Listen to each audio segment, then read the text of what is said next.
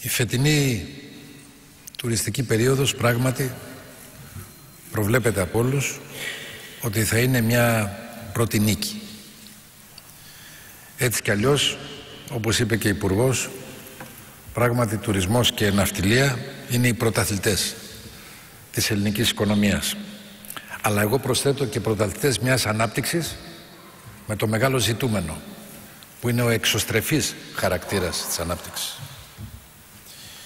Και όπως φαίνεται πρόκειται να χαρίσει στη δοκιμαζόμενη ελληνική οικονομία μια τέτοια πρώτη νίκη.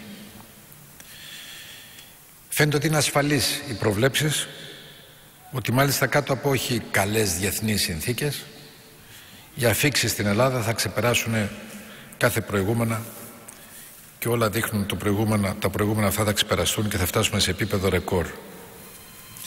Αλλά και το εισόδημα που θα αφήσουν στον τόπο σε έναν τόπο που από πλευράς ρευστότητας φαίνεται άνυδρη χώρα επίσης δείχνει το επίπεδο αυτό που θα αφήσουν εισοδήματος οι επισκέπτες στη χώρα μας ότι θα είναι σε επίπεδα ρεκόρ.